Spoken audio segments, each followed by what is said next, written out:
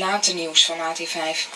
Paniek in de burgemeestersbuurt langs de Haarlemmerweg vanavond. Uit het dierenopvangcentrum De Zwaan langs de A10 ontsnapte tegen het eind van de middag een wolf. De politie zette de hele burgemeestersbuurt af om dat beest weer te vangen.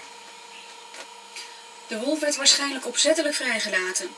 Het dierenopvangcentrum is deze week al vier keer de dupe geworden van vandalen. Hondengeleiders van de politie van Zaanstad met speciale apparatuur werden er vanavond bij geroepen om de wolf te vangen.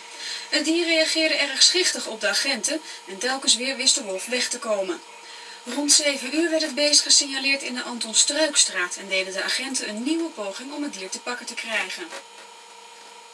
Op de burgemeester de Vluchtlaan werd het beest door een politieauto aangereden. De wolf liet zich daarna klemrijden door agenten en buurtbewoners. Die konden de inmiddels dodelijk vermoeide wolf vrij makkelijk meenemen.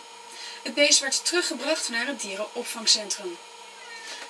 De wolf heeft alleen wat schrammel opgelopen. Wolf, die gisteravond in verdoofde toestand werd aangereden door de Amsterdamse politie, maakt het goed. Hij heeft zijn roes uitgeslapen in het dierenopvangcentrum waar hij thuis hoort. En de eigenaar zegt dat de tamme wolf weer helemaal in orde is. Enige wat hij heeft is wat uh, bezeerde voetzolen van het rennen over de stenen en het asfalt enzovoort. Maar voor de rest is hij weer helemaal de oude. De wolf was ontsnapt nadat vandalen een gat in het hek hadden geknipt.